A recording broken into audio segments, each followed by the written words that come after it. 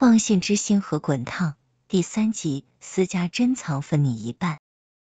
周五的晚上，藏色临时要加班，魏无羡回家的时候，只看到桌上做好的饭菜，没见到他家母上大人的身影。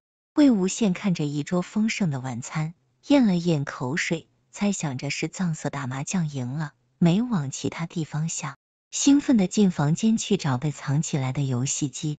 山中无老虎。猴子称大王，他的游戏啊，终于逮着机会可以玩了，没人管，真爽。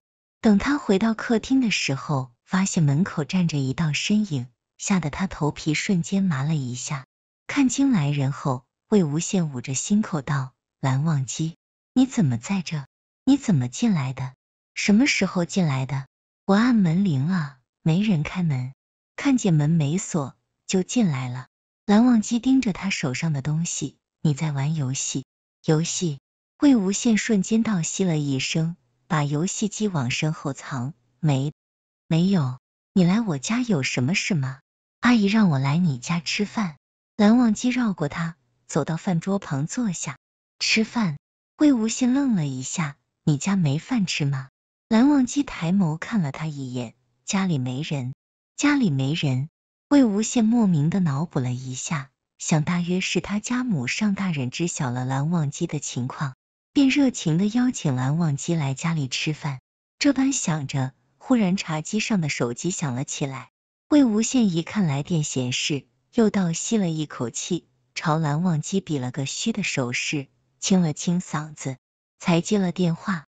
蓝忘机看着他一顿谜一样的操作，不知道想起了什么。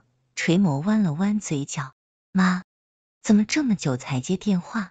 又在玩？一接电话，脏色劈头就问。魏无羡瞄了一眼饭桌旁的蓝忘机，眨了眨眼，没有，刚刚在房里没听到。嗯，忘机来了吗？来了。魏无羡老实回道。行，那赶紧吃饭，吃完饭赶紧复习，抓紧时间跟忘机学习。魏无羡郁闷的想。就知道没有无缘无故的免费晚餐，听见没？脏色在那边提高了分贝，吓得魏无羡手一抖，把手机点了免提。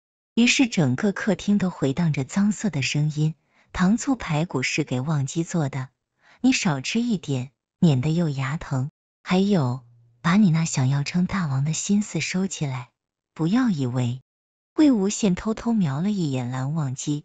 然后与他四目相接，一张老脸挂不住。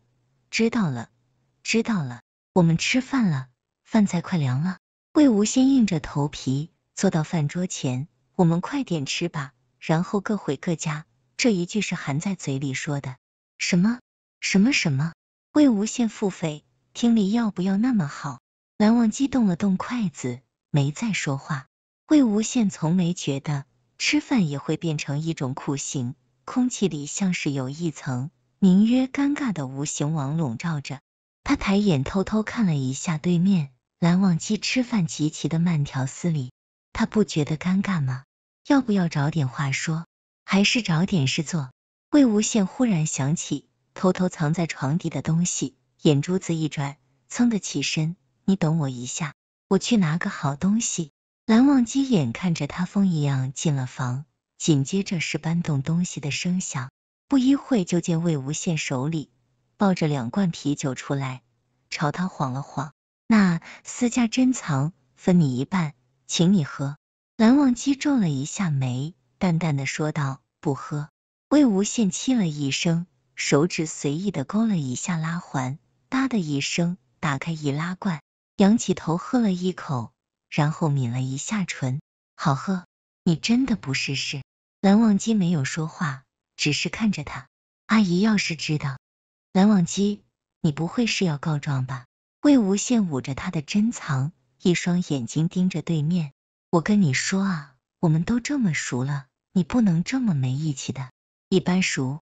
魏无羡紧紧的盯着蓝忘机，忽然有些后悔拿出来这珍藏，可是这已经打开了。总不能倒掉吧？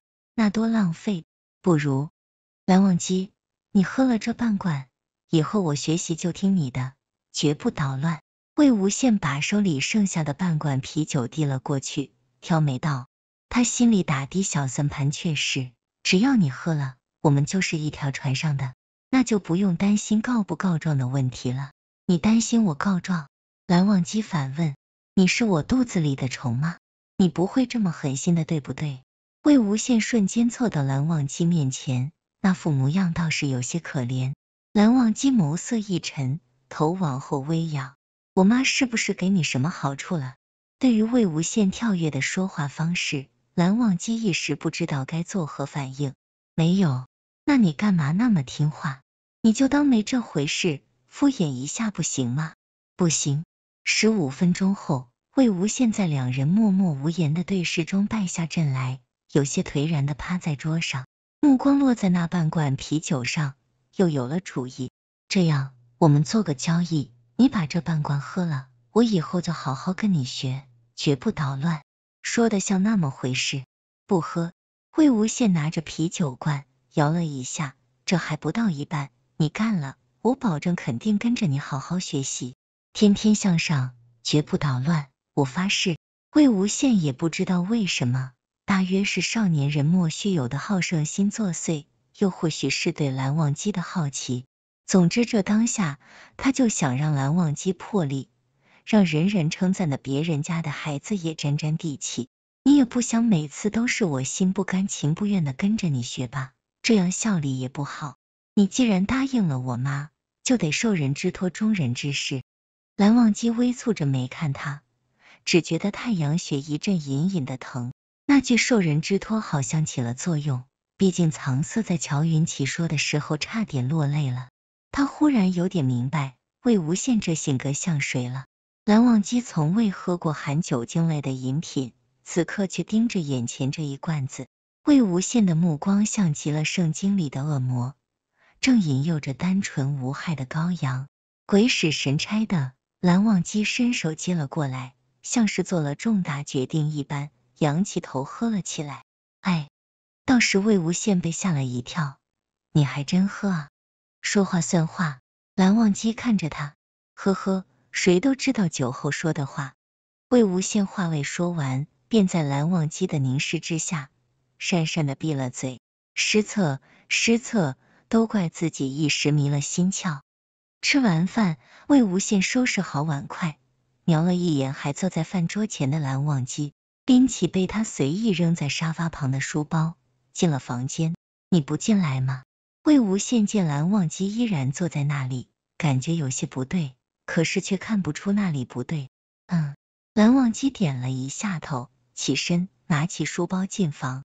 气氛安静的有点诡异。魏无羡一边做着习题。眼神却不自觉的在他身上转悠，撇开他对蓝忘机的那些偏见，他还是很肯定蓝忘机的颜值的。从小到大，他可没有觉得哪个男生会比自己好看，而且好像越长越好看，有颜又有才，简直是老天爷的宠儿。魏无羡想，怪不得那些女生总幻想着要融化这座冰山。呵呵，冰山。